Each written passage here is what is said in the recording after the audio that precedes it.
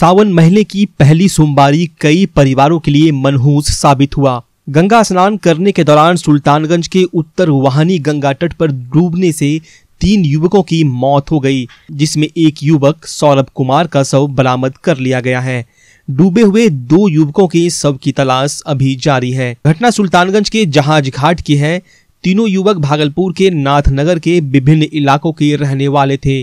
डूबे युवकों में नाथनगर के साहेबगंज निवासी विजय मंडल का 18 वर्षीय पुत्र सौरभ कुमार, कैलाश चौधरी का 15 वर्षीय पुत्र मुकेश कुमार और उमेश शाह का 16 वर्षीय पुत्र राहुल कुमार शामिल है, जो नाथनगर पासी टोला का रहने वाला था। घटना के बारे में बताया जा रहा है कि तीनों युवक पहली सोमवारी को गंगा स्नान और जल भरकर सुल्तानगंज के पवित्र उत्तरवाहिनी गंगा तट से नाथनगर स्थित प्रसिद्ध मनोस्कामना नाथ मंदिर में पूजा अर्चना करते।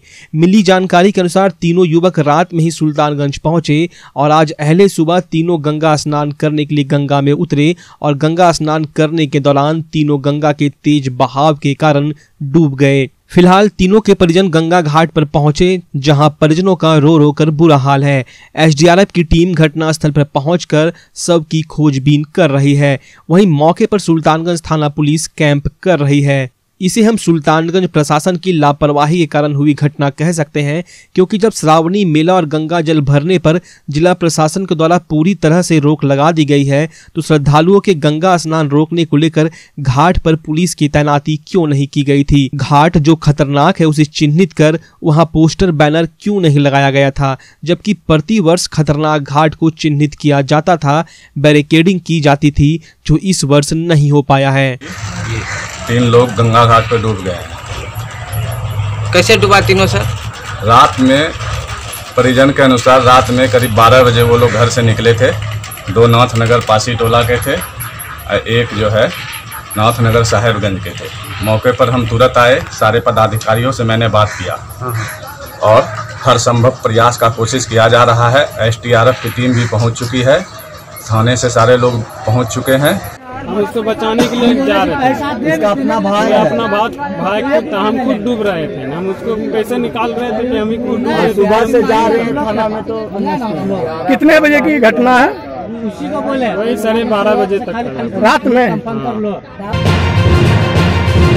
जगदीशपुर थाना से महज 200 मीटर दूर एक स्थानीय पत्रकार के घर और दुकान में ताबड़तोड़ छापामारी कर 250 ग्राम गांजा और दो बोतल शराब बरामद करने में जगदीशपुर पुलिस ने सफलता पाई है। प्राप्त जानकारी के अनुसार जगदीशपुर थाना में पदस्थापित प्रशिक्षु डीएसपी सह थानाध्यक्ष विपिन बिहारी ने गुप्त सूचना के आधार पर स्थानीय पत्रकार दयानंद यादव के सूर्यांश होटल पर दबिश दी और गहन छानबीन की, जिसमें उनके रेस्टोरेंट से 250 ग्राम गांजा एवं 50 एमएल के दो बोतल शराब की बरामदगी करने की बात कही। वहीं उनके मकान मालिक शंभू महलदार के दुकान से देसी महुआ शराब के सात पाउच भी बरामद हुए हैं। इस संदर्भ में पत्रकार दयानंद यादव ने कहा कि यह सब कार्रवाई विद्वेष से की गई है। थानाध्यक्ष के नेतृत्व में थाना क्षेत्र में कई बार गलत काम हुआ है। अपने अखबार में छापने के कारण गलत तरीके से मुझे फंसाया जा रहा है। थाना प्रशासन की मिली भगत से बालू का अवैध खनन और बिक्री होती है। शराब पीने वालों को थाना लाकर छोड़ दिया जाता है। इस संदर्भ में सूचना के अधिकार के तहत जानकारी भी मांगी। इन्हीं बातों से तिलमिलाकर थानाध्यक्ष ने फंसाने की योजना बनाई और मेरे रेस्टोरेंट को सील कर दिया। उन्होंने वरीय अधिकारियों से गुहार लगाई है, अगर सचमुच में कुछ भी आपत्तिजनक चीज़ बरामद हुई है तो पुलिस प्रशासन उसे वीडियो दिखाए और मेरे रेस्टोरेंट में लगे सीसीटीवी कैमरे की जाँच की जाए, ताकि सच्चाई सामने आ सके। बहरहाल, मजिस्ट्रेट तरुण केसरी के नेतृत्व में सूर्यांश रेस्टोरेंट एवं ठंडे की दुकान को सील कर दिया गया है। शंभू महलदार जयराम पासवान एवं रोशन कुमार को गिरफ़्तार कर जेल भेज दिया गया है। एक गुप्त सूचना मिला था कि जगदीशपुर बाज़ार स्थित शंभू महलदार के मकान में जो विभिन्न दुकानें हैं, उसमें अवैध शराब बड़ी मात्रा में बिक रहा था तो सबसे पहले हमने जो सामने में सूर्यांश रेस्टोरेंट है, वहाँ पर छापा मारा वहाँ पर हमें दो बोतल शराब और गांजा की कुछ मात्रा जो लगभग ढाई सौ ग्राम के आसपास है, वो बरामद हुआ फिर उसके बाद फिर जो मकान मालिक है शंभू महलदार, फिर उसके दुकान, जो कि दुर्गा स्थान काली मंदिर के रास्ते में, उसका दुकान उत्तर साइड में, उसका मकान के उत्तर साइड में उसका दुकान वहाँ पर हम लोग लोगों ने छापा मारा। तो हमें देखते ही दुकानदार अंदर की तरफ़ भागने लगा। उसको हमने जब पकड़ कर पूछताछ किया और जब हमने फ्रिज वगैरह उसका चेक किया, दुकान में चेक किया तो उसमें देसी महुआ का शराब जो सात पाउच रखा हुआ था, जो लगभग तीन सौ एम का पॉलिथीन में रखा हुआ था वाइट पॉलिथीन में।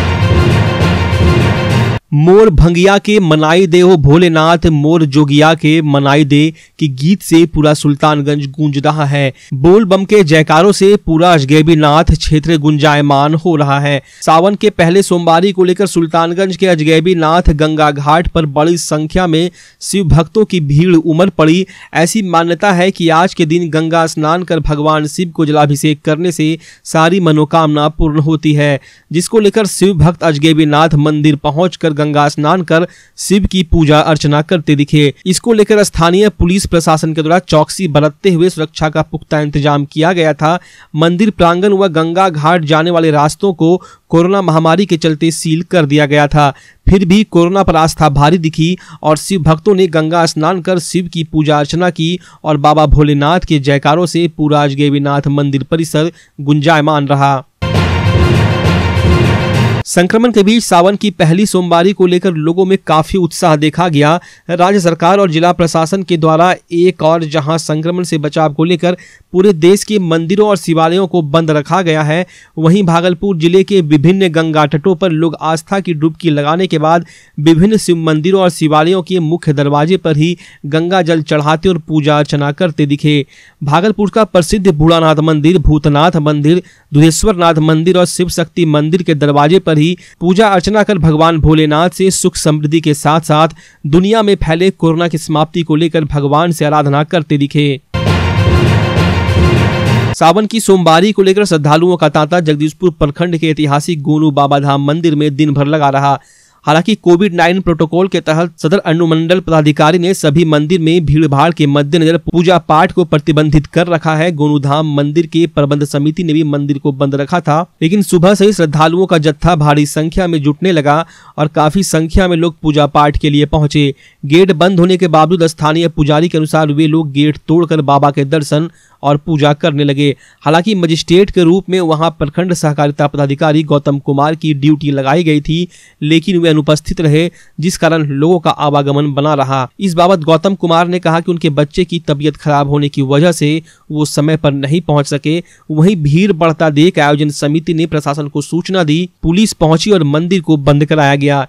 इन सब के बावजूद घर से निकले लोग मंदिर जब पहुँच गए थे तो मंदिर का परिभ्रमण भी किया और गेट बंद होने के कारण गेट पर ही पूजा अर्चना करने लगे तथा पुजारी भी बाहर ही पूजा कराने लगे। स्थानीय स्तर पर लगने वाले मेले में आसपास के दुकानदार भी पहुँचे थे और उन लोगों की दुकानें सजी रही। वहीं प्रशासन का कहना था कि मंदिर बंद करने का आदेश है, न कि परिसर बंद करने का आदेश। कुल मिलाकर मंदिर बंद रहने से अनेक श्रद्धालु निराश हुए और माहौल समान होने की प्रार्थना कर वापस लौट गए।